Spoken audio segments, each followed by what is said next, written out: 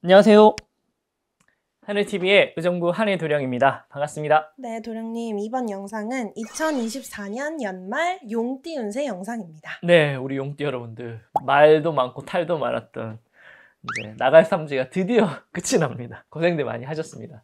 아마 올해 용띠 분들이 아마 나가는 삼재에 가장 큰 어려움을 느꼈, 을 거라 생각을 합니다. 자, 제가 이제 7월 달, 8월 달에 어, 큰 여유주를 물 일이 있겠다라고 말씀드렸고 9월 달, 10월 달에 안개 속에서 웅크린다라고 말씀드렸던 것 같은데 11월, 12월 달은 큰 액땜을 하고 하늘을 승천을 하는 우리 용띠 여러분들의 어, 운기를 보았습니다. 나머지 이제 일들을 다 정리하고 새로운 일사로 도전을 하는 그런 운기다라고 말씀하시거든요. 그래서 기존에 뭔가 해왔던 일들보다는 새롭게 뭔가 도전하는 호전적인 부분에서 더 좋은 성물을 누릴 수 있겠다라고 생각이 듭니다. 그래서 명예수가 굉장히 많이 올라가고요. 사회적인 직이나 덕망 같은 것도 굉장히 많이 올라갑니다. 그래서 남들이 많이 부러워하게 되는 일들이 있겠다라고 이야기하세요.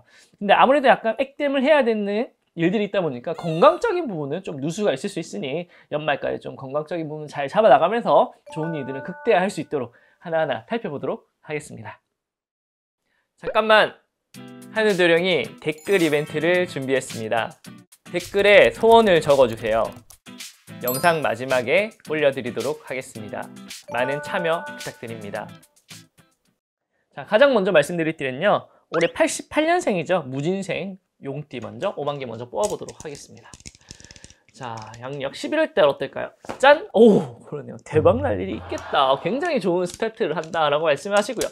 이게 잘 이어질지 보니까 어, 그러네요. 냉탕과 옹탕을 간다라고 이야기하시는데 갑자기 온 좋은 음기에 악셀을 너무 세게 밟는다라고 이야기하시니까 적절하게 브레이크를 잘 잡아야 된다라고 말씀이 드릴 수가 있을 것 같아요. 특히나 이때는 뭔가 주식이라든지 뭐 집문서라든지 자동차라든지 내가 문서적으로 굉장히 큰 재물과 연관되어 있는 그 문서를 잡는 그런 타이밍이다라고 말씀하십니다. 자, 인간사의 덕망에서는 좋은 인연을 많이 만나게 된다라고 이야기하시는데 정작 좀 마음을 터놓을 수 있는 인연은 없다, 좀 아쉬움이 있 겠다라고 말씀하시고요. 자, 건강적인 부분에서는 좀 잔병 치레 같은 거 좀 조심하라라고 말씀하십니다. 특히나 어, 잔병 치레 중에 우리가 기관지, 소화계통 쪽으로 관련된 그런 질환에 가진 분들이 있죠. 굉장히 조심하셨으면 합니다. 자, 금전적인 부분에서는요, 어, 그래도 자산의 증식적인 부분들이 많이 들어오게 된다. 뭔가 내가 대출을 끼든 뭐든 하든 자산이 많이 올라간다. 총액에 그런 것들이 올라간다 하시니까 이런 걸 잘 활용하셔가지고 이번 자본주의 세계에서 좋은 성물도 많이 누릴 수 있지 않겠나 생각이 됩니다. 자, 두 번째로 말씀드릴 띠는요, 올해 76년생 병진생 용띠입니다. 5번기 먼저 뽑아보도록 할게요. 자, 11월 달 어떨까요? 짠! 오호, 일사가 좀 다르다르하다. 이것저것 자충우돌의 형국이다. 라고 말씀하시고요. 자, 12월 달 운기 어떨지 살펴보니까 어, 이런 것들이 치련과 고난이 될 수도 있다라고 이야기하시니까 너무 급하게 대처하는 것은 좀 금물이다라는 말씀을 하십니다. 자, 요때 그래도 뭔가 승진, 취업, 이직 이렇게 명예와 관련된 이동수, 변동수가 많이 들게 되는 상황이고 이 상황 속에서 많은 사람들이 축하를 받는다 하시니까 전체적인 공수는 나쁘진 않아요. 인간사의 동망에서는 아무래도 내가 이렇게 뭐 이직 뭐 이런 거 하는 운기가 없다 보니까 경쟁자가 좀 많이 생기게 되는 상황이에요. 경쟁자의 마음을 너무 날카롭게 대하지 마라. 인간미를 좀 베풀어서 경쟁자의 마음을 얻어라 이렇게 말씀하시고요. 자, 건강적인 부분에서는 내가 뭔가 흉터 날 일이 좀 있어요. 뭔가 시술을 만든다든가 흉터 날 일이 좀 있다라고 이야기하시니까 뭐 좀 뾰족한 날부지 같은 거 건드릴 때는 좀 조심하셨으면 합니다. 자, 금전적인 부분에서는요. 어 그래도 어, 꾸준한 안정적인 금전의 흐름이 형성이 된다라고 이야기하시니까 좋은 성물을 많이 누릴 수 있겠다 생각이 듭니다. 자, 세 번째로 말씀드릴 띠는요. 올해 64년생입니다. 갑진생 용띠네요. 5반기 먼저 뽑아보도록 할게요. 양력 11월 달 어떨까요? 짠! 아, 다사다난하다 라고 말씀하시고요. 자, 이런 것들이 잘 해결이 될지 12월 달 옮기를 살펴보니까 어, 좀 어려움이 있겠다라고 말씀하십니다. 아, 여기 변동수, 이동수가 많이 생기는데 웬만하면 자제를 하라라는 말씀을 드리는 거고요. 그래도 내 운기는 좋지 않기는 한데 주변에 기인을 만나서 큰 덕을 누린다 라고 이야기하십니다. 그래서 내 운기가 그렇게 중요하지 않겠다.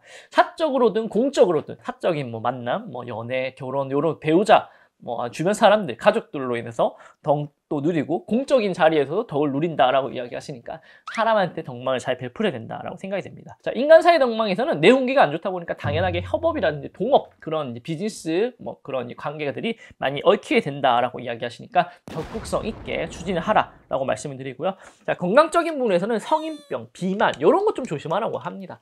요즘 이제 현대 사회의 큰, 큰 이제 어려움이죠. 이런 걸 좀 잡을 수 있도록 식단 조절이라든지 건강에 좀 신경을 꼭 써야 된다. 아니면 큰 누수가 있겠다라고 말씀. 말씀합니다. 자, 금전적인 부분에서는요, 크게 콩고물을 내가 얻어먹을 일이 있겠다 생각을 합니다. 어, 주변에 덕 보는 사람들이 많다 보니까 나도 같이 금전의 덕을 본다라고 이야기하니까 이럴 때일수록 주변 사람들한테 내 마음의 표시를 잘해야 그 콩고물이 오래오래 이어지지 않을까 생각을 해봅니다. 자, 마지막으로 말씀드릴 띠는요, 52년생, 어, 임진생 용띠입니다. 5반기 먼저 뽑아보도록 할게요. 자, 양력 11월달 어떨까요? 짠! 아하, 좀 일사가 조금 늘어진다. 아, 시간적 여유를 가져라. 이렇게 말씀하시고요. 자, 12월 달에 잘 해결이 될지 살펴보니, 어 그러네요. 조금 어려움이 있겠다. 이건 시간을 가지지 말고 빨리 대처를 하라 라는 오만기니까 걱정하고 고민스러운 일이 있으면 당장당 행동력으로 실천을 해야 된다. 이렇게 참고하시면 될 것 같고요. 자, 전체적인 운수는 뭐 큰 행재수를 만나서 대박을 치는 그런 운기가 들어와 있습니다. 내가 생각지도 않았던 곳에서 큰 덕망을 본다라고 이야기하시니까 항상 인생은 계획대로 흘러가지 않죠. 그런 분에서 큰 도움을 받을 수 있다라고 이야기하시고요. 자, 인간사의 덕망에서는 새로운 인연이 굉장히 많이 생기는 오고 가는 인연들이 많이 생긴다라고 이야기해요. 특히나 내 마음을 터놓을 수 있는 인연도 많이 생긴다라고 이야기하니까 친구처럼 지낼 수 있는 인연도 많아지게 된다. 자, 건강적인 부분에서도 활력이 좀 많이 올라갑니다. 운동 같은 거 시작하시게 되면 건강적인 부분들 많이 챙겨 나갈 수 있다 생각이 되고요. 자, 금전적인 부분에서는 생각대로 일이 풀리진 않을 거예요. 그러나 아까도 말했듯이 행재수 금전에 어, 도움이 있겠다. 금전에 뭔가 이렇게 덕이 있겠다라고 이야기하시니까 주변을 잘 살펴라라고 이야기하십니다. 주변을 잘 살피면은 금전의 덕망을 볼 수 있는 일들이 곳곳에 숨어 있겠다라고 이야기하시니까 잘 참고하셔서 좋은 선물 많이 보셨으면 합니다. 구독과 좋아요는 한해도령에게 큰 힘이 됩니다. 한 번씩 꼭 부탁드립니다. 제발. 자, 오늘은 아, 우리 용띠 여러분들 고생하셨습니다. 나가는 삼재 마지막 어, 연말 띠별 운세를 살펴보았습니다.